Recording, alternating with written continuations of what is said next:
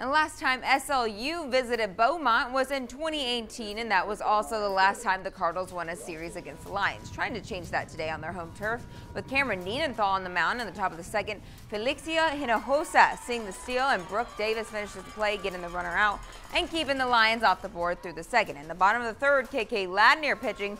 Kaylin Ziasine connects and plays it short in the left field. SLU goes for the first, trying to complete a double ball at third, but Davis runs on home, scoring for the Cardinals. First run of the game. Top of the fourth, here's the pitch. Madison Rayner hits one far left center. Nobody near it. Rayner goes for second and doesn't stop. Her hit becomes a three base knock. And Bailey Krochik would get the RBI to bring her home and tie the game at the next bat. Same inning. The Lions still batting. Audrey Greeley hits one far left and it's fair. Krolchik makes it across home. Person behind her is Maddie Watson. Cardinals get the ball to Hinojosa, but she didn't make the tag. The Lions have a three-run fourth inning.